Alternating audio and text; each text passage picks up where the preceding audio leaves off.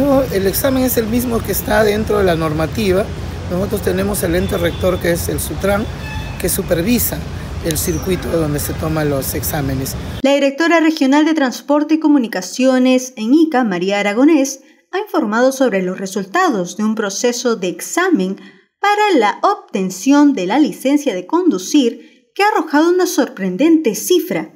De 30 postulantes, solo uno ha logrado aprobar este examen. Muy buenos días, gracias por la entrevista y dirigirme a la población iqueña para indicar que nosotros, atendiendo los lineamientos de nuestro gobernador Jorge Hurtado Roque, estamos fiscalizando en forma personal y en forma diaria los exámenes de conocimiento como también los exámenes de habilidades de manejo. El día de ayer hemos tenido una ingrata sorpresa porque de 30 postulantes solo aprobó uno solo y fue una dama que aprobó, ¿no? Entonces esto nos indica que esta fiscalización nos está conllevando a que efectivamente debemos entregar la licencia de conducir a todo conductor que tiene esa habilidad a efectos de disminuir esta brecha de tantos siniestros de tránsito que tenemos en nuestras vías. Esta revelación plantea cuestionamientos sobre la preparación y el conocimiento de los solicitantes en relación con las normativas de tránsito y las habilidades de conducción necesarias para obtener una licencia de conducir. La Dirección Regional de Transporte y Comunicaciones de ICA tiene la responsabilidad de asegurar que los conductores estén adecuadamente capacitados y cumplan con los requisitos necesarios para garantizar la seguridad vial. Área de estacionamiento donde cada conductor o cada postulante tiene que saber estacionarse, tiene que saber salir, ahí es donde tienen problemas, porque todo el recorrido del circuito lo hacen muy bien solamente tienen problemas al momento de estacionarse o de salir del estacionamiento. Y que son algunos de los problemas donde se han visto pues no choques lastimosamente en diversas calles por el tema de estacionarse ya le chocaron al otro conductor que se había estacionado bien. Pues, Así es, usted lo ha, lo ha graficado exactamente, eso es lo que sucede.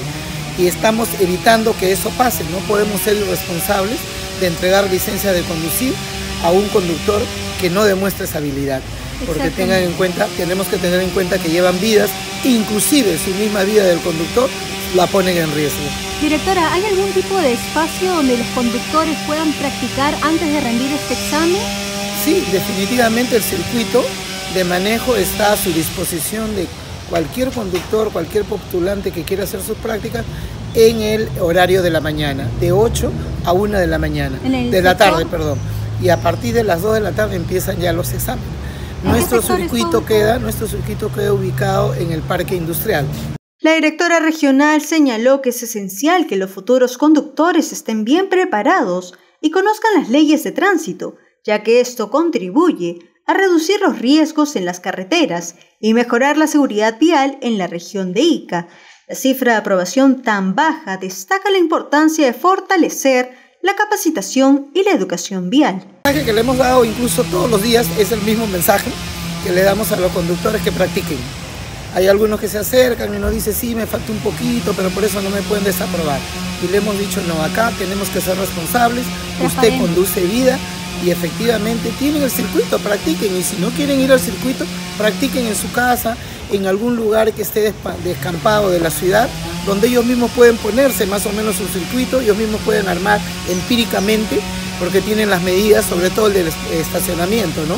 Ahí les damos las medidas inclusive para que ellos puedan hacerlo en forma particular. Entonces yo creo que con la práctica lo van a poder lograr. ¿En qué tiempo se entregan las licencias de directora o sigue siendo el mismo tiempo que antes? A partir de nuestra gestión, nosotros estamos entregando una vez que el postulante haya cumplido con aprobar su examen de conocimientos y su examen de habilidad de manejo, en 24 horas, es decir, al día siguiente les estamos entregando sus licencias.